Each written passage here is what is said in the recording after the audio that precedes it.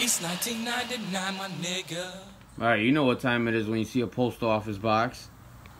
I already turned the, the tags off of it, so that's why it's half open already. So, um, a little shout out to the man that made this, Zachary Davis.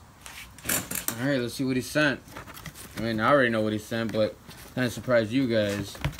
Oh shit, I almost dropped off the bucket.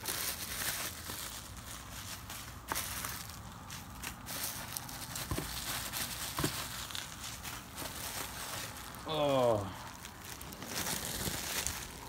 Ooh. Beefy RCA. So far, so good.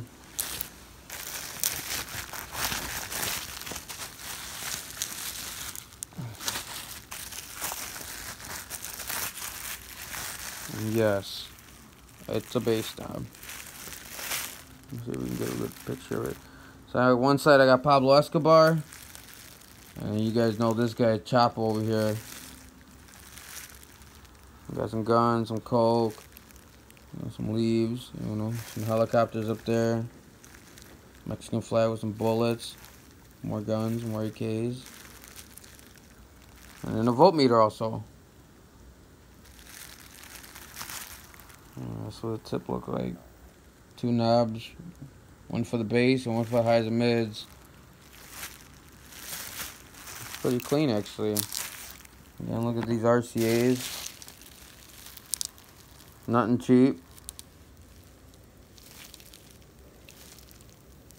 Let's get this hooked up in the little Honda.